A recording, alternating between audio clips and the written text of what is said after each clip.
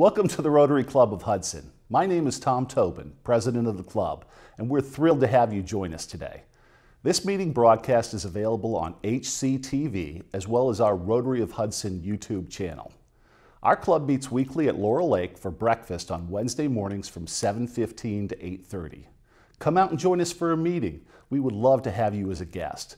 To learn more about Rotary, our club, and the impact we're having on our local community and the world, visit our website, rotaryhudson.org. Enjoy the meeting today and help us share the message that Rotary connects the world.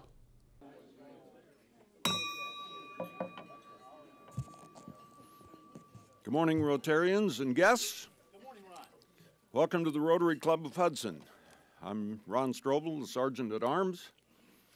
Our invocation this morning is by Jim Young.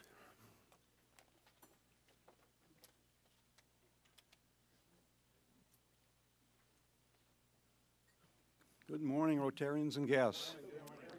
Well, as we've had a Thanksgiving weekend and we look towards our next season of joy and hope, let us pray. For friends, food, fun, and the fellowship of Rotary, we give our thanks today. As we ask your blessing for this meal, let us always be mindful of the amazing gifts that life has given each of us. Let these thoughts guide our lives today. Amen. Thank you, Jim. And to lead us in the pledge and the four way test, John Hopkins.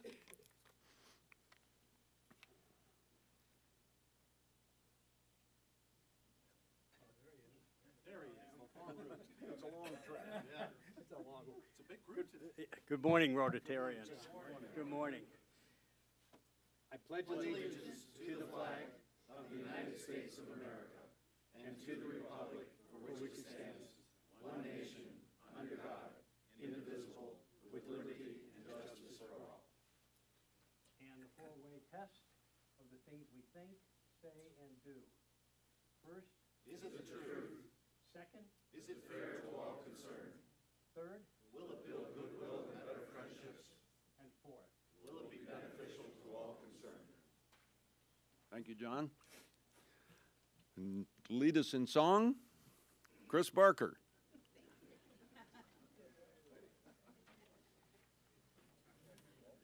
Good morning, everyone. Good morning. In honor of Bob DiBiasio being here with us today, it's kind of a no-brainer is what we're going to sing today. Take me out to the ball game. All right. Okay?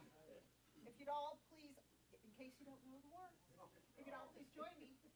Take me out to the ball game. Take me out with the crowd. Buy me some peanuts and cracker jacks. I don't care if I never get back. Let me root, root, root for the Indians. If they don't win, it's a shame. For it's one, two, three strikes, you're out in the old ball game. And to introduce our guests, Chris. Okay, well, thank you, everyone. First, I'd like to um, introduce some wonderful guests with us today. Okay, walking through the door, we have friends of Mayor Dave Basil. They're here to join us today. And then, in addition to this wonderful group, they'll have a few minutes here. We have Dave Zero, President of the Hudson Board of Education. Thank you. And then Joe Avella has three guests with him today. Mike Gladstone, his beautiful wife Carol, and Louise McCorkle. And then Jim Lang he has a guest today, Greg Fratz. Thank you all for joining us. Thank you. Thank you.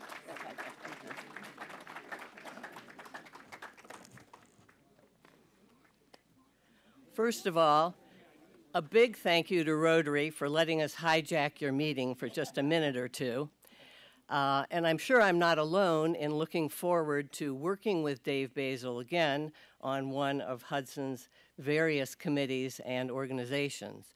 But in the meantime, we thought it was important to honor the contribution he's made uh, and how he has served us and Hudson for so many years. Uh, we wanted to give him something he could take with him and would show him all, just all the people who love, respect, and admire him.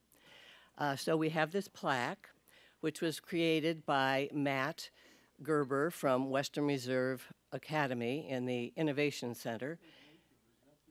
And many, many of your friends have signed it. Uh, the front has now been covered and um, polyurethaned, but if anybody hasn't signed and want to, you can sign the back, and then we'll polyurethane that.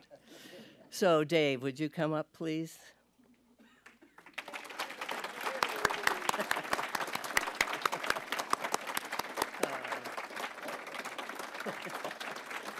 Here you are. They're all Thank you.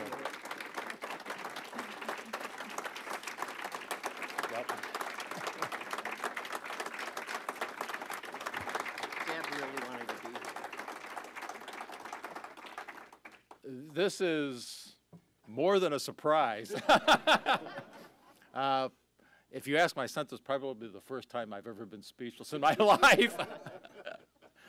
um, I, I can't thank everybody in Rotary and especially all of the folks who made a special effort to come out this early in the morning. Um, this will go in a very treasured spot uh, on the shelves in my study. Um, and like you, Liz, I'll look forward to working with everybody. I know there are a lot of opportunities, and you know, a lot of folks have reached out already. So, um, you know, I'm not going anywhere. Good, excellent. Thank you, thank you.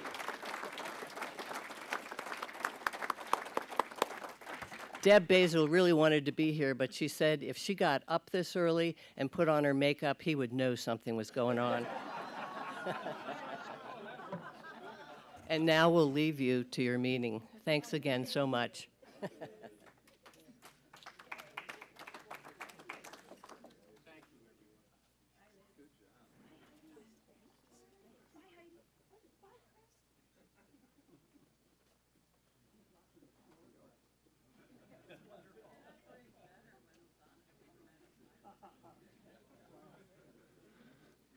Tom Page, could you step up here?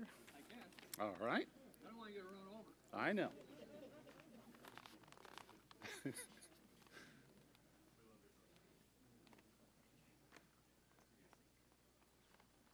By the way, Jane Howington, who's passing by, I understand she's a prospect to become a new Rotarian. So,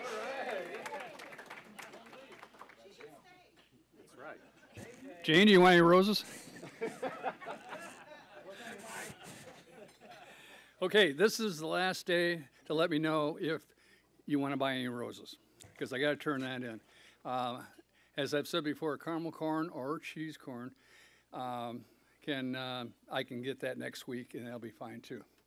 And if you want to sidestep all that and do a donation, I'm your guy. Any questions at all? Um, the cheese corn fanatic over here. So far, the break is out of 72 cans, and we're going to have a whole lot more. 22 of them are cheese. So, all right. So that was a good idea, Jay. No questions? Thank you. I'm right back there if you uh, want to uh, give me a check and or give me an order, and I got order forms if you didn't bring one. Thank you. all right, good job. Ed Sogan, if you would step up, please.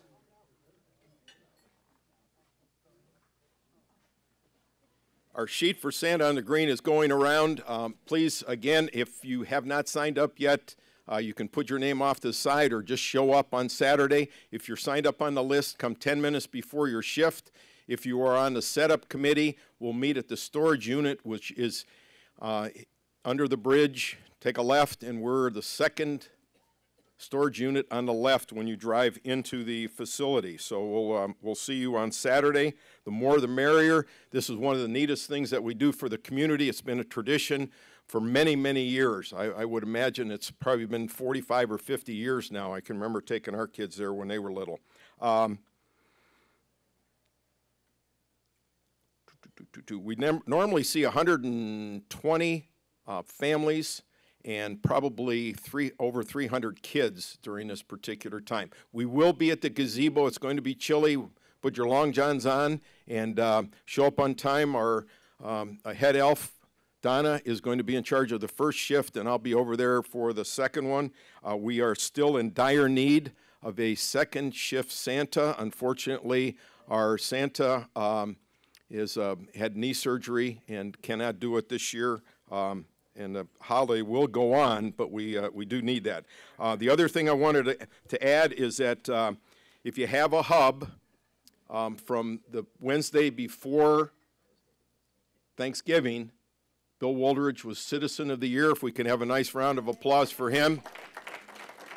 He has, Bill went around and stole every hub from all of his neighbors. So if you do have hubs, he wants to go ahead and give this as Christmas presents to his kids. So uh, please uh, bring those in next week and we'll uh, uh, tack on Find Day. Uh, the other thing is we're looking at Find Day for this month. Uh, I was watching the news this morning and normally we raise between 150 to 200 dollars to give to some type of a charity. this month, I'm going to propose that we um, give it to the Cleveland Indians to be able to retain Francisco Lindor.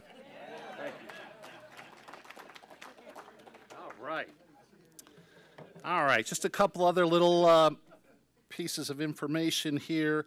Uh, first of all, service learning presentations. Mike Swain wanted me to thank you all, commend you all for uh, the time that uh, many of us have contributed to attending the uh, service learning class presentations, which I think revolve around policy changes and random acts of kindness. And uh, I think that's been uh, very helpful to the students and, and very enjoyable for our members. So thank you for doing that. Uh, let's see. Phil Warburton, could I have you step up? And um, I also want to mention, okay, um, I had asked you all to circle December 5th as a date for having a, uh, for participating in a special focus group slash social in the evening. That one, due to conflicts, we're going to have to postpone. I'll get back to you with dates on that. Um, yesterday was, I believe, Giving Tuesday, Phil. I didn't know if we discussed that or not, but. No, it's uh, good to know that, though. It's a, it's a. so, so this is, so this is very timely that uh, Phil's message this morning. So, Phil, if you take it away. Well, this is a message for us all. And I'm going to spring training camp in South Carolina this afternoon. So I wanted to let you know that. This morning we're talking about planned giving. And uh, before I do that, I want to speak about planning your estate. I'm an inactive lawyer, which means I'm not practicing and not retired. I have 40 years. That's good. That's good. Experience, I, I've had 40 years' experience in one manner or another, from practicing law to financial planning for small businesses and professional people to managing a private foundation to serving on a planned giving committee at a small college. I know how important estate planning is to the individual. That means all of you. Some of you have taken steps to plan, towards planning. Some of you have not. Some of you have completed your plan. Some of you need to update it. Somewhere we all fit into this if you know who you are and you know that inevitably you should do something, one thing is inevitable. We all are going to pass on at some point in time. What happens if we do nothing? Well, the government, specifically the state of Ohio, does it for you. This is done through the statute of descent and distribution. What things can you do to avoid this statute? First and foremost is you should make a will. This gives you an opportunity to make sure your estate is left to the individuals you choose, not letting the state of Ohio do it for you. By doing this, you avoid probate and the expenses that that entails, among other things. There are more complex ways you can do, as well as, for example, a trust, life insurance, annuities, etc. Now let's talk about the Rotary Club of Hudson and how it might fit into your estate plan. First, we all have an affection for Rotary. We know what it does locally and internationally. This includes helping to eradicate polio, and many other things. Let's talk about our club and its charitable arm, the Hudson Rotary Foundation. It was chartered in November 1997. It, it is the charitable arm of the Rotary Club of Hudson. It's a 501c3 nonprofit organization. Meetings are held every two months, and all of you are welcome. Total spending since 1997 is over $750,000. Planned giving objectives, areas of focus, youth and education, scholarships, Hudson Community, international projects. I'm getting over a cold, so bear with me, please. And just as important as the above, sp- specific areas of your interest, you can direct where you want the Rotary Foundation to make grants to organizations or entities you like. we can help you plan more specifically. Now, let me talk about charitable bequest gifts. A charitable bequest can be made in your will or trust and is one of the easiest ways you can leave a lasting impact on the causes and charities you love. Bequ- benefits of your bequest you receive an estate tax deduction, lessen the burden of taxes. Oh, thank you very much.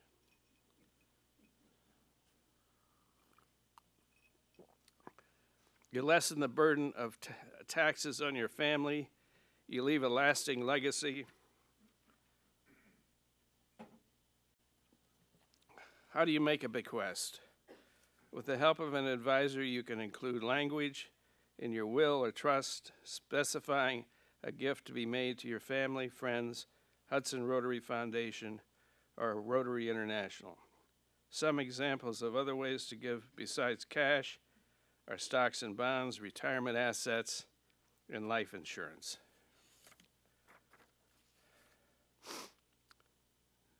How can you how can you be involved? You have the opportunity to create a legacy and make a huge impact without committing money or assets now. Estate planning options can maximize future charitable gifts. And I want to say this for most people, it's easier to give money after they've passed than it is to give money now. A huge impact without committing money or assets now. Estate planning options can maximize future charitable gifts, provide you with income today, and, limit, ta- and limit tax exposure. In addition, your professional advisor should be involved with the conversation if you wish. We have placed a form on the tables, each of your tables. We would like you to fill them out, fill it out, and return them to me, or return them to Joe Avella, or return them to Tom Tobin. For additional information, Hudson Rotary Foundation Plan Giving Committee is composed of Phil Warburton, myself, Rich Warfield, Phil Tobin, Joe Avella, and the Hudson Community Foundation, the Rotary International Foundation. I want to thank you for listening to me this morning, and I hope you work on your estate plan and include Hudson Rotary Foundation in it. The end.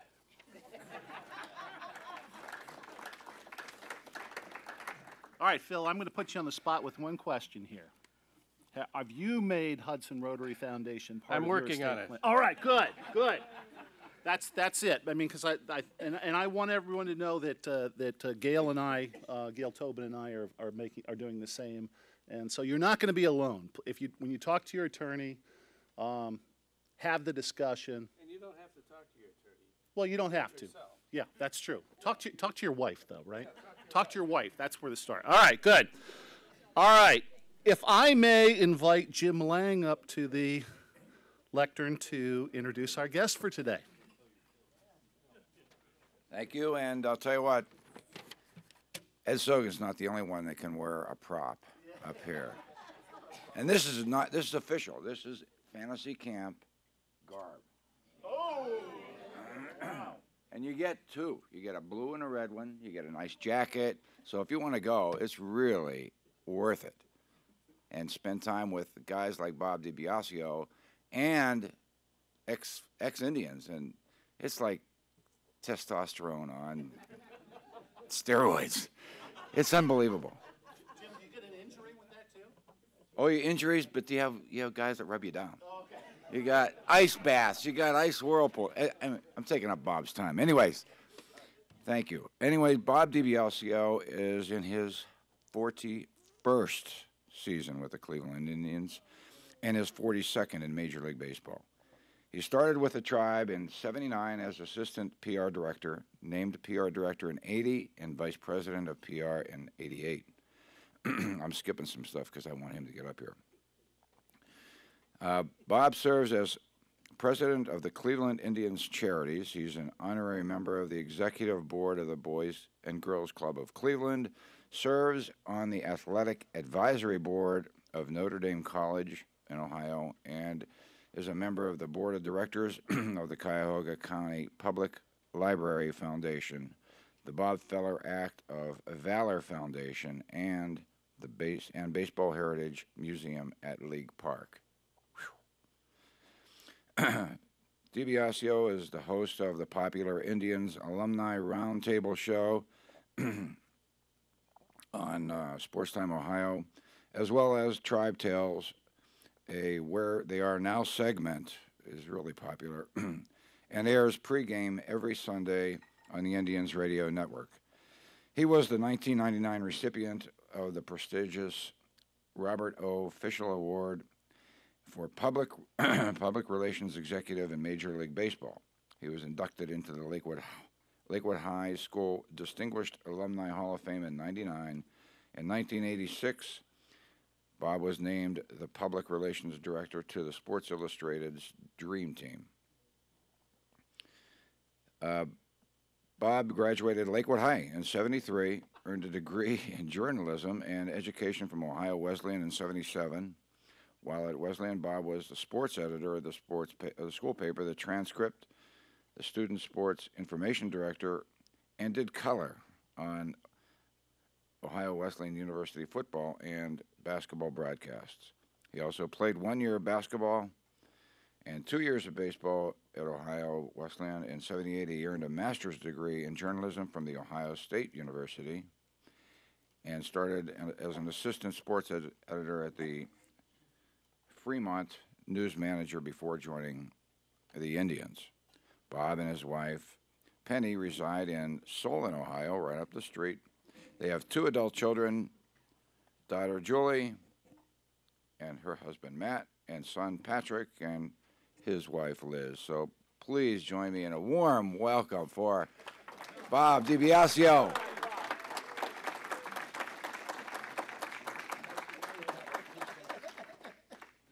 Yeah, I thought you were going to be quick. Um, thank you.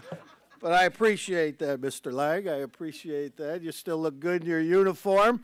Um, you know, I always consider this, I think I've mentioned it a number of times. I don't know how many years in a row we've done this at this time of year, and it's always a, a treat to be back and, and enjoy uh, sharing uh, uh, tribe talk with you all. But I, I, I consider this the first pitch of uh, the, the new season. Um, there's some markers along the way, and for me, this is number one. Um, winter meetings, baseball's winter meetings are coming up this uh, weekend. Um, they're in San Diego, so there might be some crazy news coming out of there in the world of baseball. Um, then we uh, head to Fantasy Camp in January. We will do Tribe Fest uh, the beginning of February. And then uh, spring training gets in gear, and we're ready to go for another exciting season. So I, I do thank you for the opportunity to uh, talk Cleveland Indians baseball with you. Uh, we'll revisit last year briefly. We'll talk about expectations for the 2020 season and entertain any questions that you might have. Uh, think about, obviously, the incredible history that's involved with the Cleveland Indians organization. Uh, the year 2020 will be our 120th season as a member of the American League, as a charter member of the American League. It's remarkable. 1901 was the inaugural season of um, the American League. We're one of the four charter members.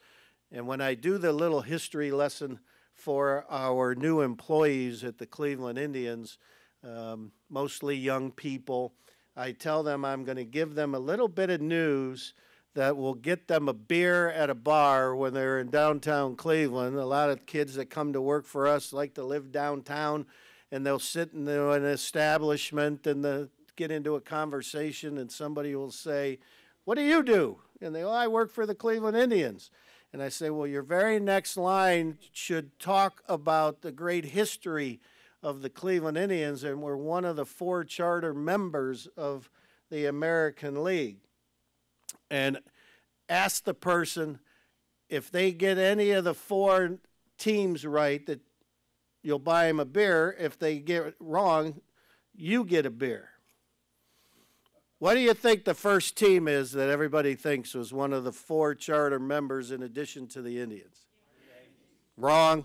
You owe me a beer. Chicago, Boston, Detroit, and Cleveland were the four uh, charter members of the American League. So, um, little history. If you learn anything today, I'll get you a beer at a bar uh, uh, when you leave here.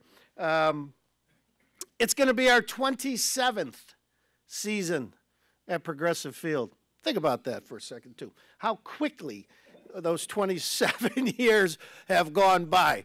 Uh, we've had out of the uh, 26 seasons that we've played, we've had 17 winning seasons.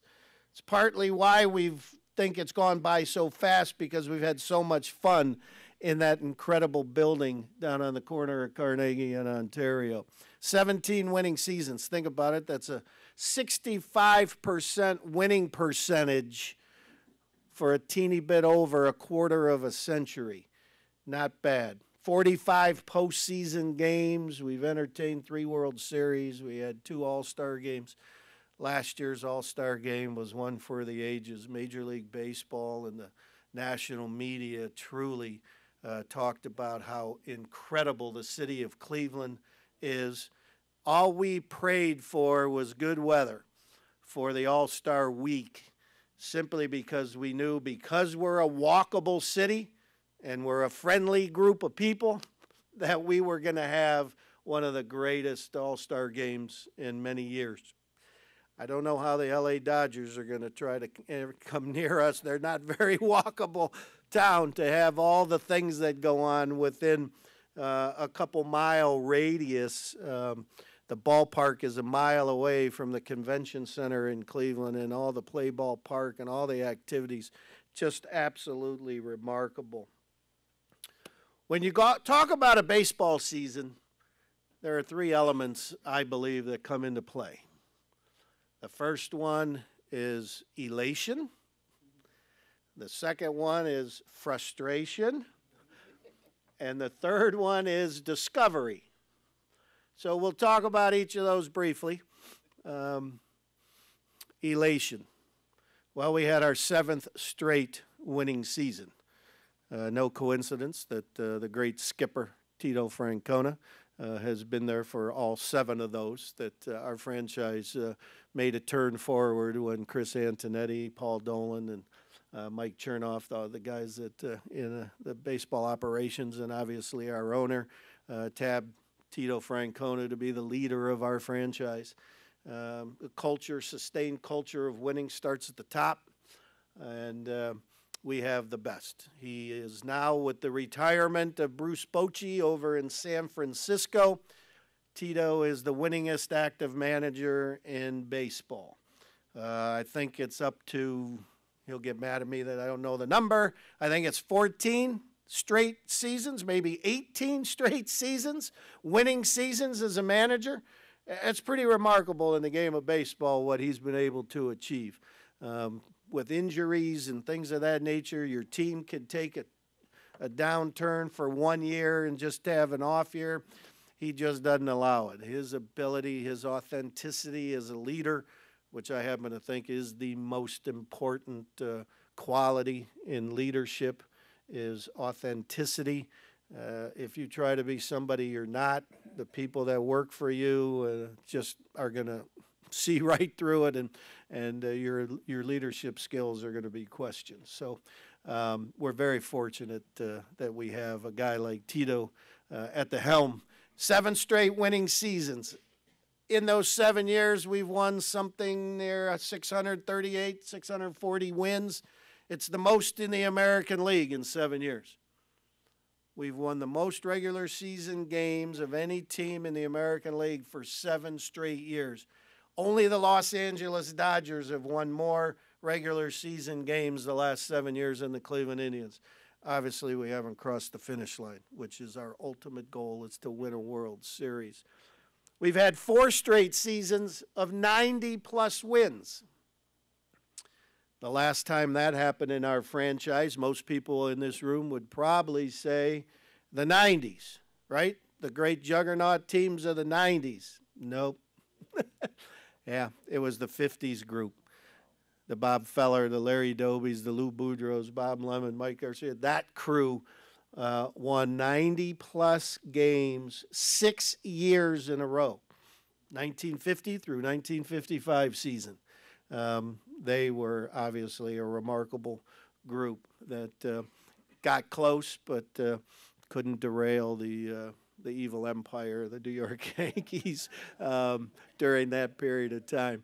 Um, so this sustained culture that we have working, um, it really is a product of people, how we believe in people, how we treat our people, how we provide our people with the greatest resources possible, both on the baseball and the business side. Um, we have to rebrand ourselves. It's something I think, as all of us business people in this room, we have to rebrand ourselves almost every year from a, a baseball perspective. Each year, off season brings a unique perspective to how we're going to build a baseball team. We're not built uh, like the NBA, um, where you grab one superstar or two superstars and that's your team, and you can build around it and try to win. We used 12 different starting pitchers last year. 12 different starting pitchers last year. Um, we have to build a team in addition to build an organization that's focused on taking care of the people inside our organization. Last time we used 12 pitchers, I think it was 2008 or 9, and we only won 60 games, 65 games, I think it was. What we were able to accomplish this past year using 12 different starters with all the injuries that we had was pretty remarkable. Um, we were elated. Um, it was a source of elation for us that it showed that our um, farm system, our player development process, how we go about providing the resources and the instruction um, to our players, our people in the organization was working, and it was working well. Um, Zack Meisel of The Athletic, if you are really into sports um, and you're not quite getting all you want from the Plain Dealer or Cleveland.com, uh, the Athletic is a remarkable um, uh, place to go. They, they cover our local scene and the national scene uh, um, incredibly well. Zack Meisel's a Solon High School kid that uh, um, really one of the top writers around.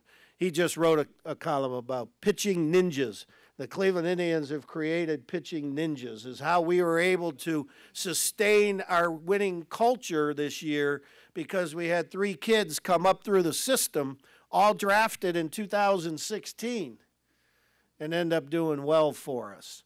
Um, and it's a mindset of how we teach them. Corey Kluber is one of the first examples, two time Cy Young Award winner, first example of that how we taught him when we acquired him. People may forget this, but we acquired him in a trade when he was a double A pitcher for San Diego. And he came into our system, got into our process, our system, and how we create pitching because we can't go out.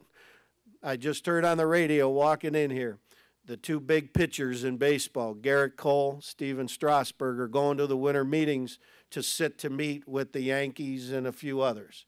Well, they're not going to sit and meet with us or the Reds or the Pirates or the Twins or the Royals or all the 15 middle market teams in baseball. They're not sitting with any of us. If we want to be good, we have to create and develop and produce our own stud pitchers, first and foremost. And we've gone through the effort of working with sports psychologists, sports nutritionists, the, taking advantage of all the new sports science, the mindset of the discipline of not just the day you stand on the mound, but the four days in between that are more important than the day that you stand on the mound to get you ready and prepared. Being prepared. It's what all of our businesses are all about. Taking care of our people, being prepared. And our guys in our baseball operations department have done an incredible job. A couple names Ruben Niebla, who just got promoted to be the assistant pitching coach for the Cleveland Indians.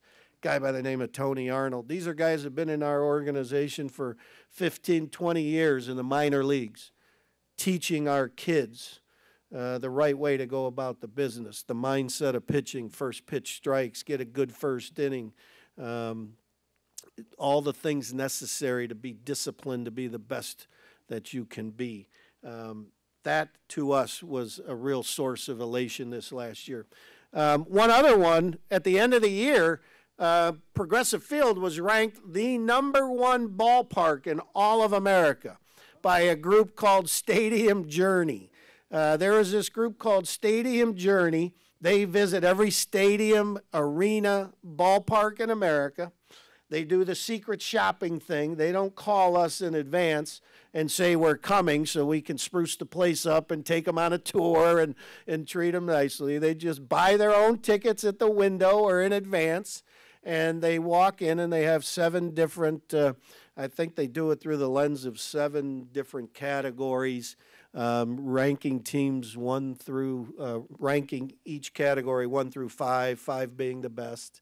Um, we receive fives in everything from uh, food and beverage to atmosphere to friendliness to um, one in-game entertainment. Uh, they have one category called extras. I wasn't quite sure. They didn't really describe that in the article what that meant.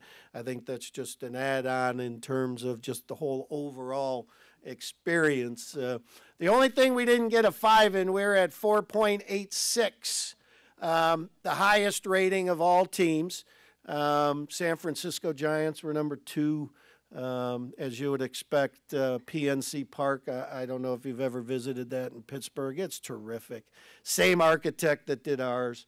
Um, and then Wrigley Field and, and, Fenway are in the top five. Uh, um, the only one we didn't get a five on, and we got a four, was access. It was pretty odd since we're right off the highway. Um, you could see it from miles away. But uh, we're incredibly uh, proud of, of that because it's we take care of our people. We go, you know, we know that all the violent, all the people who are our ushers and ticket takers, many are retired. Um, we run them through a whole lot of service training activities prior to the season. They have an incredible passion to take care of our fans. They have an incredible passion for the Cleveland Indians and for what they do. And um, it really, uh, I think, all the effort we put into that, the, the effort of customer service, uh, really uh, came to bear in this uh, in this survey. Um, frustration, obviously, no postseason. Simple as that seven winning, seventh winning season. Um, it's not a statistic we're going to hang our hat on, but it makes you feel better when you're not the last guy standing. The Washington Nationals are the only ones that can stand at the end of the season and say, We had a good year. um, out of the 30 baseball teams. They're the World Series champions. What a remarkable World Series it was, too. An incredibly entertaining World Series, although we wish we would have been a part of it. It was still fun to watch. Um, but the fact that we won 93 games last year, two more than the year before, and in the two wild card era, it's the first time ever a team that had won 93 games didn't get in. So we can hang our hat on that, that we did well. Normally, we would have gotten into the postseason. Um, the other frustration was we don't know what the hell the Twins were doing winning 101 games. We knew they were going to be good. We knew they were going to be a challenge. Like this coming season, we know both the Twins and the White Sox uh, are going to challenge us in the American League Central Division. Um, but the frustration um, really hit home with all the injuries that I talked about. That we just had. There's a calculation of lost value.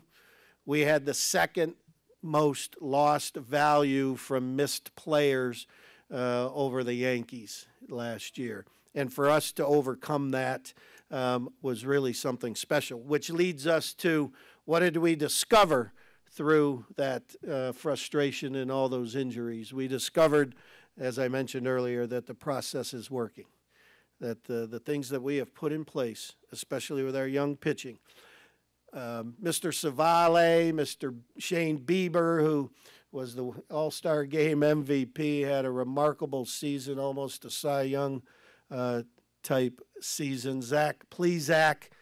all were in the same draft. 2016. Here's three kids in 2016 come to our organization in mid June. They have a minor leagues of a brief period in, in 16. They're all college pitchers, so they had a big workload. So they didn't pitch a lot for us in 16. We try to, you know, make sure that we treat them right with the, the amount of work that they do in the college game. And then they had the 2017 season. We saw Shane Bieber up in Cleveland a little bit in 17, uh, and then uh, in 18 as well. And all of a sudden, we've got three winning pitchers um, help us uh, in 2019 from the same draft. So uh, that's how we have to do it. And these kids are part of what Zack Meisel called the Pitching Ninja Academy that we have at the Cleveland Indians. Um, the discovery aspect is probably one of the most fun things that, that happens during a baseball season. And Oscar Mercado, uh, a kid we traded for a couple of years ago that nobody even knew about the trade at the trading deadline two years ago. We traded two Class A outfielders to the St. Louis Cardinals for a single Triple A outfielder. Didn't get a lot of buzz because that gentleman went right from the AAA team of the Cardinals to the AAA team of the Cleveland Indians. Oscar Mercado. This last year, uh, he comes to spring training, shows Terry Francona he means business. He wants to be on this baseball team, and he took over center field. And uh, that kind of discovery is, is pretty awesome. Franmil Reyes in right field uh, this coming year, uh, we'll see. We've asked him to refine his body. Uh, he's a big boy. He's about 6'7, 270. Um, he can hit a ball a long, long way. Uh, hit almost 40 homers this year. 24 uh, year old kid to get in a trade. The chief piece was Trevor Bauer. Um, I thought it was a remarkable deal that our baseball guys got to get big, power, young right handed bats, uh, which we didn't have in the minor leagues uh, was a remarkable trade uh, for the Cleveland Indians. So we discovered some big right handed power. He'll be number four in our lineup for years to come. Um, it'll be interesting to see again how he works hard to become an outfielder instead of a DH at the age of 24. That's too young to just be a, a designated hitter. Um, the discovery, rediscovery of Carlos Santana coming back home, he was as happy as the happiest guy you've ever seen. It was like Christmas Day every day for him walking in to our clubhouse. He was so happy to be back in Cleveland, and his performance obviously showed it. Roberto Perez, um, we trade Yan Gomes in the offseason last year, and people were wondering what we were thinking because Roberto had struggled offensively. Um, were we going to hand over the team to this young man? Consider this statistic. He won a gold glove this year as the best defensive catcher in baseball. 993 plus innings behind the plate, zero pass balls. Last time that happened in the game of baseball, and what that is, is the pitcher throws the ball and it gets by you. There's wild pitches and there's pass balls. When it gets by you, the official scorer determines the pitcher just made a horrible pitch, wild pitch. We're going to give him that stat. Catcher was lazy, didn't get in front of the ball. That's a pass ball. Zero in nine, almost a thousand innings of work on a bum ankle. He had surgery on his right ankle uh, about four days after the season ended. Last time that happened in baseball, 1975 with the great Johnny Bench. Pretty remarkable uh, what he was able to do um, as the leader of this baseball team and guiding that young staff to the lowest ERA for starters in the American League. 12 different starting pitchers and he guided them to the lowest ERA. Um, incredible discovery. Um, we've got some um, work to do this offseason. We've got to fill either third base or second base, depending upon which um, way our guys go. Jose Ramirez will either be a third baseman or a second baseman. All he's asked of our guys is when he gets to spring training that he knows which position he's going to play and he's not moved off that spot. He doesn't want to go back and forth. He wants to concentrate on playing one, and he returned. We found the rediscovery of Jose Ramirez this year and his bat that went away for a little bit, um, but it's back, and he turned into one of the top players in the game of baseball. Um, we have, we think, the best starting rotation in the American League. Uh, our guys know how to put a bullpen together. They've pieced it together every year. Again, the off season is all about building a baseball team that you can be proud of that has a chance to, to win a divisional title and, and play baseball deep into October. Two quick business things, and then we open it up to questions. One I talked about a little earlier, Tribe Fest. If you have uh, your sons, daughters, nieces, nephews, grandsons, granddaughters, uh, it's a fun day down at uh, the convention center Saturday, February 1st. Go to Indians.com backslash TribeFest and uh, get your tickets for that. It really is a, a, fun, fun day of baseball in, in the dead of winter. Um, also, if you're thinking about uh, great holiday gifts, I don't know if there's a better one than Tribe Six Packs. So go to Indians.com backslash six packs it's a flex pack this year. You want to put something awesome in a stocking or give somebody young a great um, Christmas present. You get to pick. This year it's more of a flex pack where you get to select certain dates. You can select promo dates if they're fireworks fans, rock and blast fans, they're bobblehead fans, jersey. They're, those types of uh, events are available now as you identify. You're not, previously, you were picked on the six days that we said the six pack. Now you get to pick and choose over the course of different dates to, uh, um, and the tickets are obviously priced at depending upon the seat location you choose. So um, keep that in mind for the holiday. Now, with that, who wants to be Frankie Lindor, the great Frankie Lindor and be our leadoff hitter. He's had three straight years of 30 homers, uh, one of the most remarkable uh, athletes that has come through uh, the Cleveland Indians organization. The hot stove is hot when it comes to the name Frankie Lindor, um, for sure. Um, before anybody asks about Frankie, I'll just say um, two more years under contract with the Cleveland Indians, 2020 and 2021. Um, whether he gets moved, who knows? Uh, that's been the one of the top uh, discussions. If you lived in the uh, if you lived in Chicago, Um, the Cubs are trying to think the same thing with their star Kris Bryant, whether or not to trade him before he becomes a, tr- a free agent. If you lived in Boston, um, Mookie Betts, their star right fielder, um, the Red Sox and the Cubs, two teams that have unlimited funds, are also talking about um, whether or not these young men should be traded before they become free agents and, and the team can't sign them.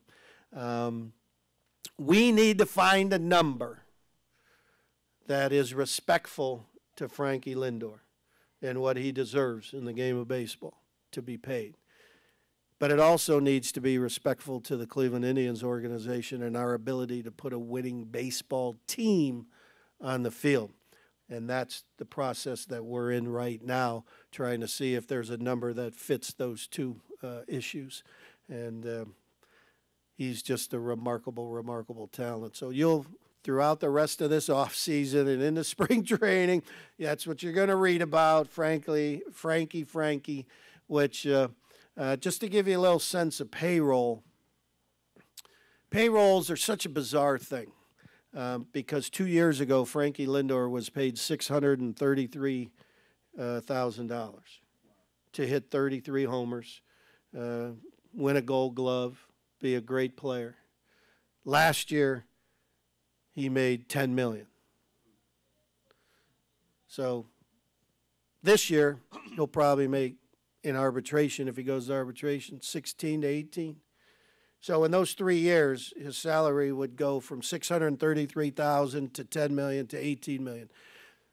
Payroll, as you put a team together, it fluctuates with young players, not you know from zero to three years making a certain amount of money, and then arbitration years making money, then you free agency making more money.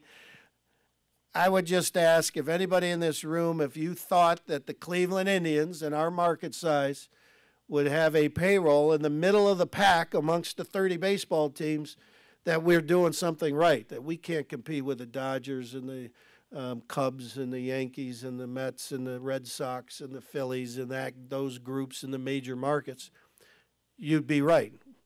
Paul Dolan is in the middle uh, of the pack when it comes.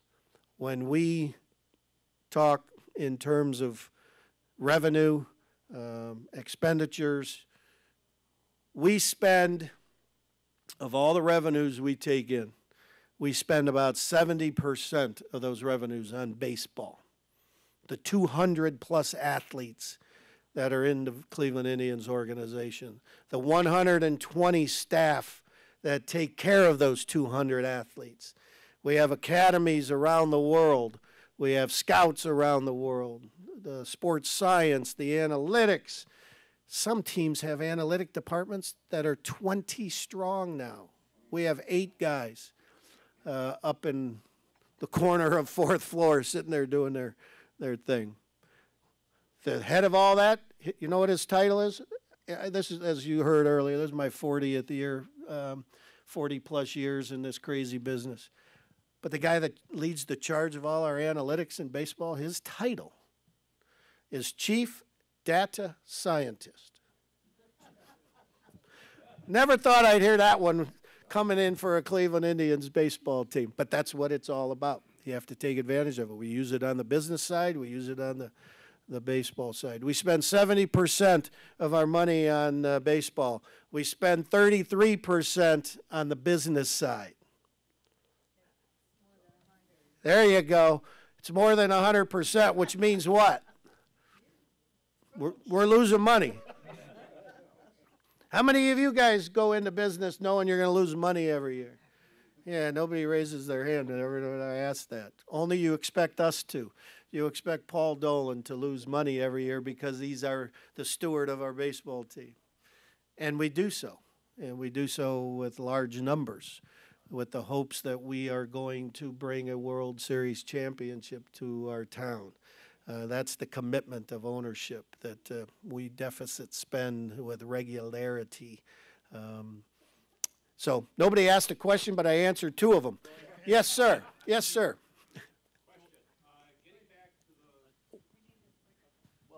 All right, you. I'm sorry. Yeah, well, he's got the microphone. Sorry.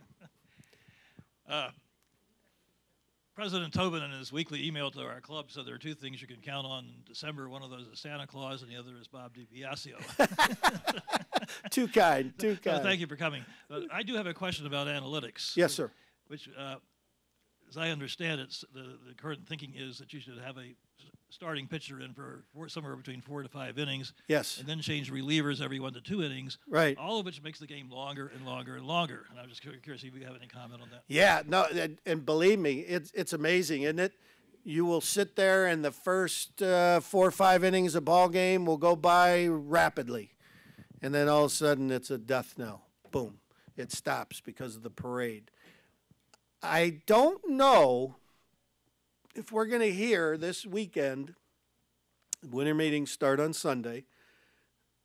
If the commissioner is going to make the announcement that a reliever has to come in and face three batters is the one rule that they have been talking about for the last couple years and since they've been talking about it for the last couple years there's some real seriousness to it um, our manager hates it our manager is one who the reason we win 93 games because he's smarter than the guy in the other dugout and can mix and match our, our relievers to their hitters so that we limit people scoring late. Scoring late in a ball game um, is either if it's you doing it, the greatest thing in the world, or the other team doing it is the worst thing in the world. Obviously, you have less innings to catch up if you allow a team to score late.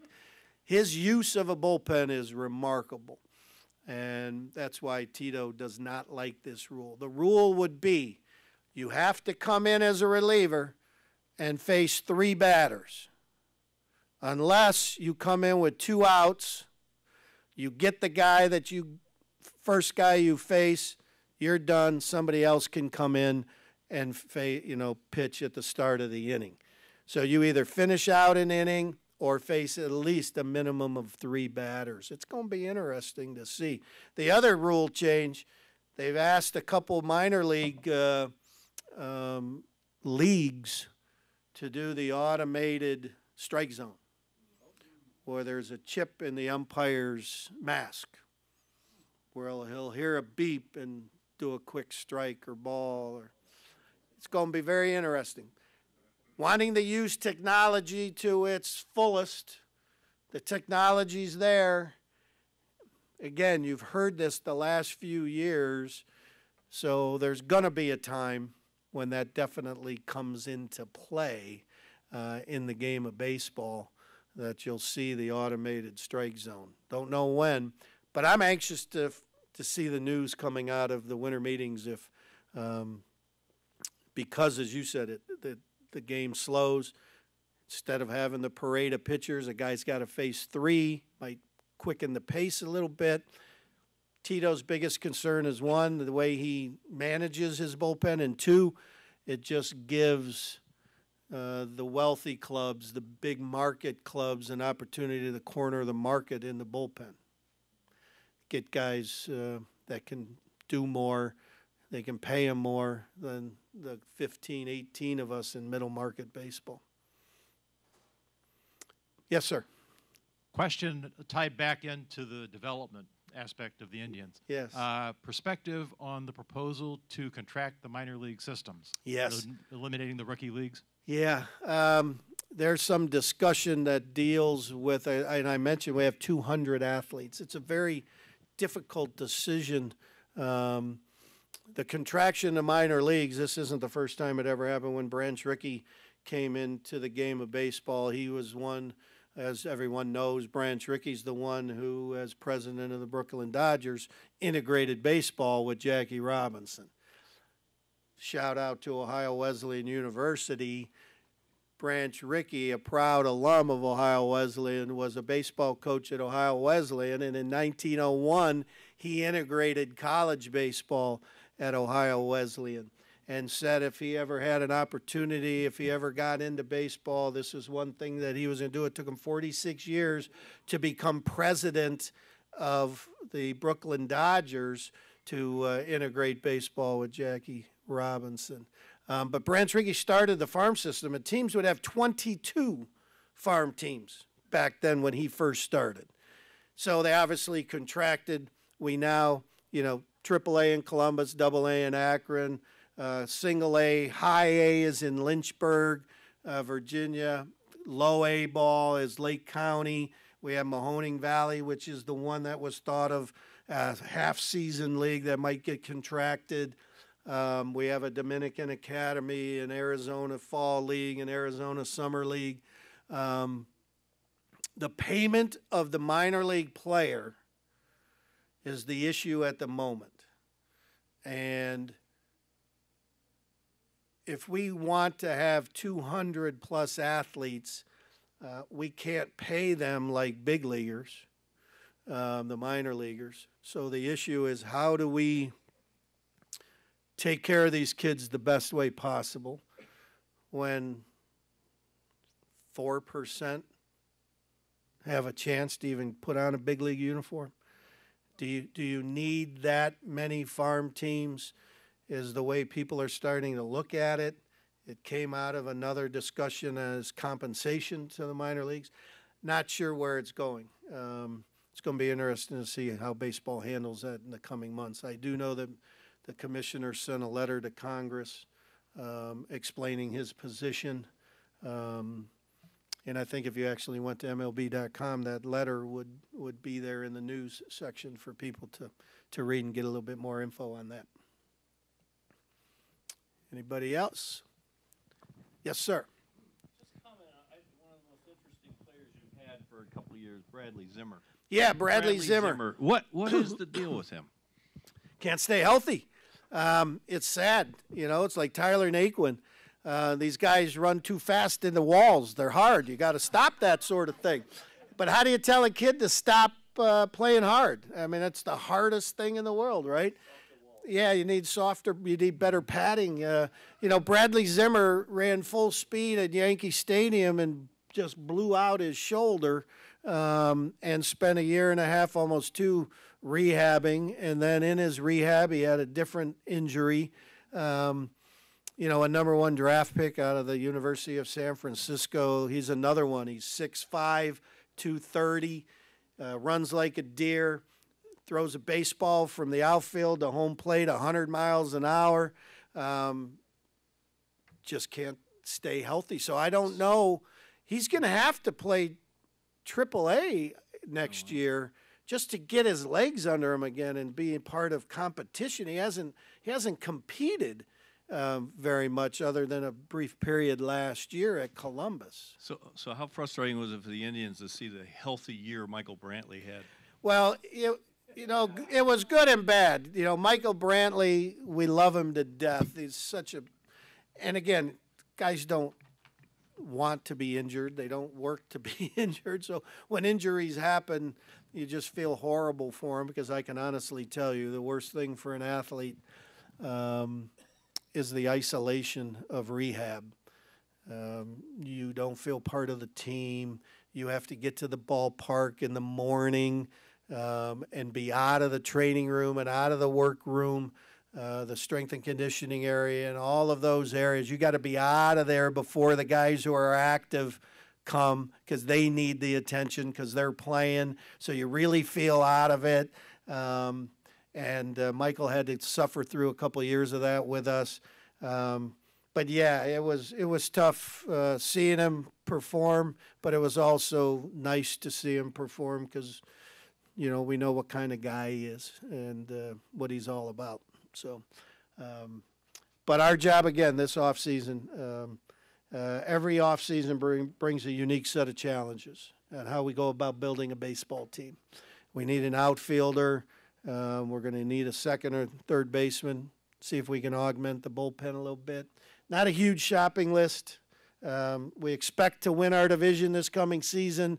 Um, the, the White Sox and the Twins, I think the White Sox are going to be the new darlings, even though they only won 70 some games. Uh, people will pick them as their young team is starting to get better. Um, but we expect to be there and, and to play baseball in October again. Always a treat to be with you, everybody. Thank you very much. Thank you so much. Thank you, sir. Bob, any chance you can stay around and just answer some questions? I know that a bunch of folks will probably swarm around you here.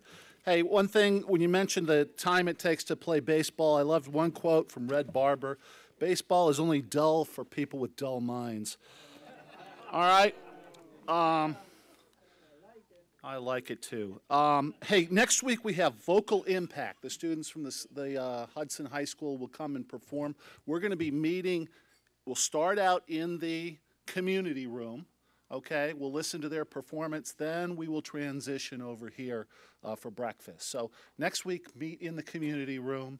Um, get there early if you can. I don't know exactly what the logistics of it are, but we'll we'll work that out, and because I know that they are on a tight schedule.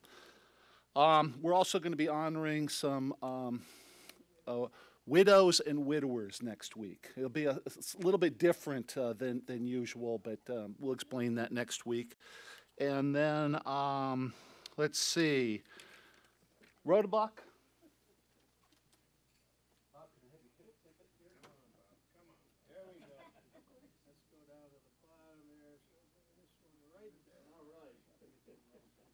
I couldn't even look at the ticket. I'm looking at that big ring that he's got on his finger. It's ridiculous. Last four numbers 2572. 2572. Who do we got? All right, Donna.